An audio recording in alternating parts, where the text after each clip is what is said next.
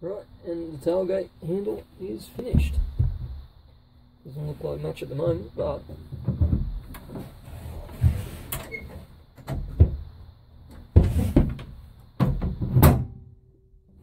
it has got a beautiful smooth action. It's actually better than the factory one.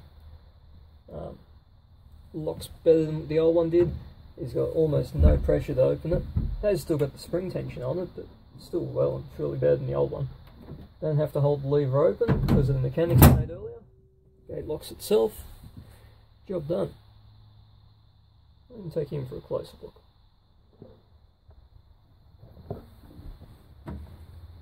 So you can see in here is the return, so I can get my hand in to open it from the inside.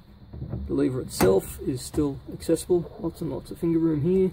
It clears on the underside the whole way through.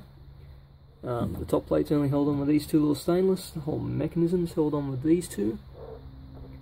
Um, I'll probably give these fins here a coat of blue and I'll polish it up so the blue stays in the in all the little grooves.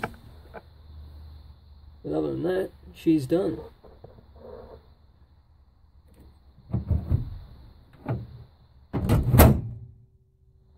Oh, actually the only other thing I'll have to do is change the upholstery around because